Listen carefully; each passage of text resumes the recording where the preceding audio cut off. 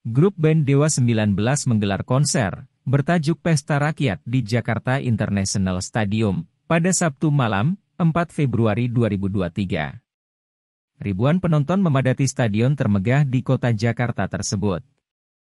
Yang menarik perhatian adalah kehadiran Ketua Umum Partai Demokrat, Agus Harimurti Yudhoyono, dan ex-gubernur DKI Jakarta, Anies Baswedan.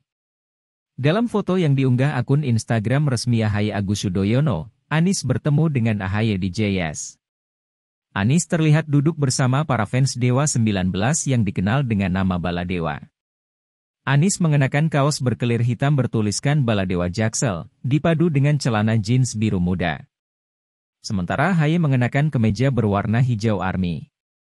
Ahaye dan Anies duduk bersebelahan serta keduanya juga tampak terlihat berbincang akrab. Bahkan mereka sempat melakukan swafoto di bangku penonton. Gak lama setelah itu saya diberitahu bahwa kalau Mas Anies Baswedan juga nonton Dewa 19.